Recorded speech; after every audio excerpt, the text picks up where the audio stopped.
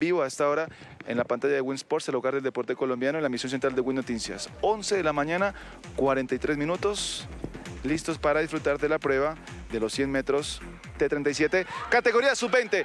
Y arranca la competencia el colombiano, el colombiano carril número 7 con una gran ventaja, con una gran ventaja. Se acerca por acá El Salvador, pero va a ser oro para Colombia. Oro para Colombia, oro para Colombia y se escucha el grito, se escucha el grito de nuestro colombiano Giovanni Malambo, que salta de la felicidad. Prueba impecable, con una ventaja importante sobre El Salvador. Estamos hablando de Joshua Moreno que se ha quedado con la medalla de plata. Bien por Colombia, compañeros, bien por nuestro representante Giovanni Malambo que suma una nueva medalla. Ya son cinco metales en el día. Regálenme un segundo, ya vuelvo a pedir la palabra para traerles precisamente la información a profundidad, compañeros, de lo que hemos tenido en este primer